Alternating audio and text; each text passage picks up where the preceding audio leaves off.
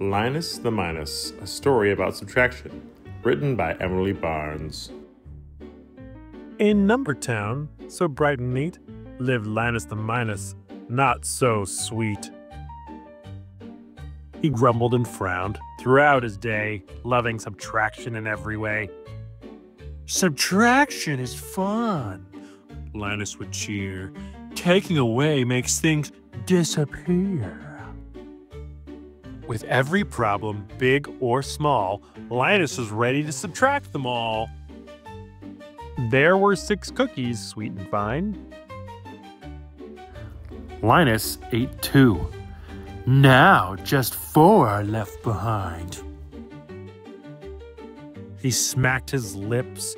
Fewer is best. That's how subtraction passes my test.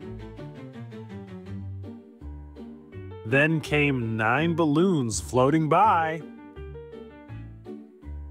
But Linus popped three, no time to fly.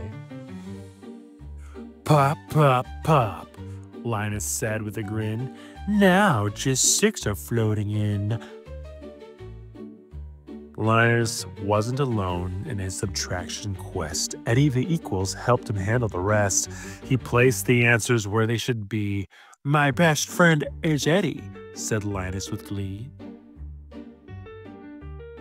When I subtract, Eddie equals is near. To show what's left, he makes it clear. If I take away 3 from 9, Eddie equals tells me 6 is just fine.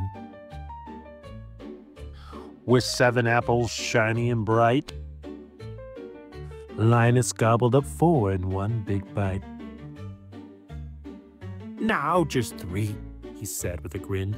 Eddie equals shows what's left again. One afternoon, eight toys on the floor.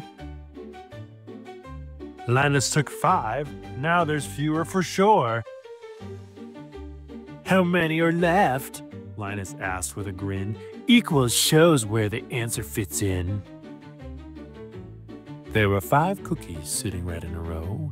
Gus the Plus came in wanting to grow. He tried to add two and make them seven. But Linus took them. Now three is heaven. Gus tried to add three cookies to his plate. But Linus came in not wanting to wait. He gobbled the last three. Now there's none. Take away them all is much more fun equals here and minus there. Together we're the perfect pair. When I subtract, equals shows what's right, and the answer is clear, shining bright. The kids needed more crayons. We need a few more. But Linus just smirked and said, What for? Don't worry, I'll take some away. Wait till I'm done, and fewer will stay. Ten bright crayons, and Linus took seven. Now there's only three. That's subtraction heaven. Equals showed where the answers would stay, close by minus showing the way. So Linus the Minus, always at play, kept taking things every day, with equals beside him showing what's less. Subtracting together, they made quite a mess. But don't worry, Gus the Plus is near. When you need more, he'll always appear.